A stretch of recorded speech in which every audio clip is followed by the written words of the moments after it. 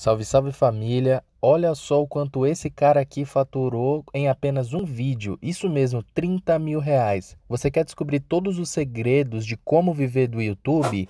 Acesse o primeiro link na descrição. Bora pro vídeo. E aí tem mais uma aqui, que é Empresários Podcasts. Vocês inspiram a gente a criar o nosso podcast de negócios, os Empresários Podcasts. Com esse projeto, captamos 450 para assistência social 450 reais. Isso só no primeiro episódio. Qual a dica para crescer mais?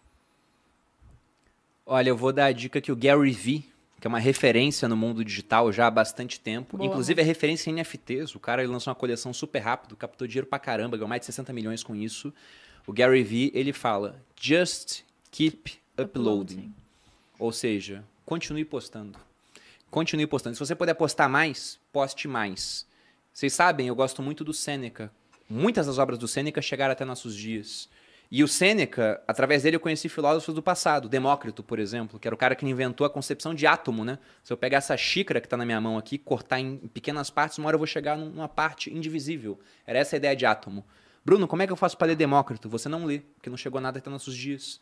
Platão era um dos caras que se manifestou a favor da queima das obras do Demócrito, porque ele era ateu numa época de vários deuses. Que filho da puta.